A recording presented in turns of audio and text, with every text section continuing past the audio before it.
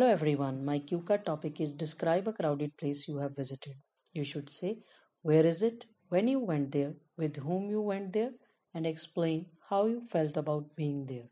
And the sample answer is I generally avoid going to crowded places, but sometimes I have to go to crowded places. Here I would like to talk about a crowded place which I visited last year in June.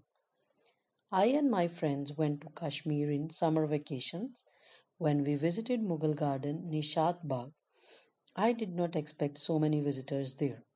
Though it is a big garden, but due to summer holidays, many tourists were there, so it was really crowded. I remember people were not only from other parts of India but from other countries were there. Nishat Bagh is one of the most visited tourist attractions of Srinagar. It is known as Garden of Bliss also. One can see the natural beauty of the place filled with lush green grass and the scented flowers. It is very pleasing to the eyes. The tourists take long strolls in the garden or sit and admire the beauty of the place. I read about the history of gardens, which is mentioned near the entry gate.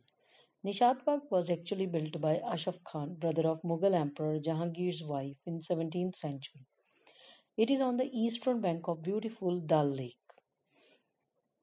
Nishat Bagh is divided into 12 terraces that represent 12 zodiac signs. Interesting fact about its location is that its creators have kept the lowest terrace of the garden connected to the lake. Chinar trees on these terraces were being planted by the hands of Mughal emperors.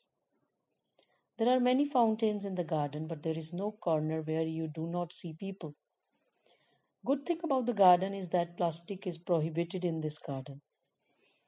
Though it was crowded, but it was very clean and green. One can enjoy Kashmiri kawa inside the garden while sitting at the carpets. When I went there, flowers were in bloom. The garden looked beautiful, but the crowd did not let me enjoy the beauty or click pictures, as so many people were around and I had no right to stop them. So, this was the crowded place I visited. Thank you.